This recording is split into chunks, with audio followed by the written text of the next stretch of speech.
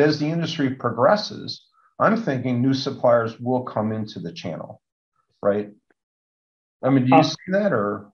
For, for sure. I mean, there's, um, I mean, Cox made a, an investment um, fairly recently, didn't they, into a company that was remanufacturing HV packs. I mean, that's going to happen for sure. Uh, I think there's going to be a really interesting thing that happens with the residual values of the vehicles as well, where the on the road value of the vehicle is less than the value of sticking the pack on the wall of your house, right? You know, and that's that's coming too.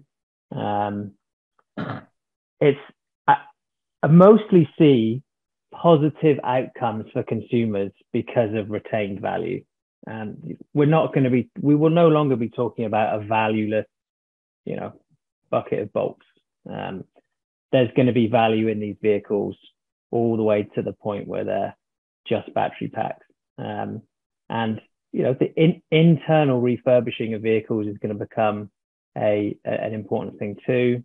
I do wor- I do worry about how manufacturers think they're going to keep a handle on uh, their own software within a vehicle, which is 10 years out from from production. I can, I know they're trying to hang on to those uh, those software installations to generate revenue, but from a personal point of view, I'm not sure how that's going to go. I think it'd be better to hand over some of those OSs to people who run OSs, so you don't have to worry about that when you've got a 10 year old vehicle. So there's a there's a ton of complexity there.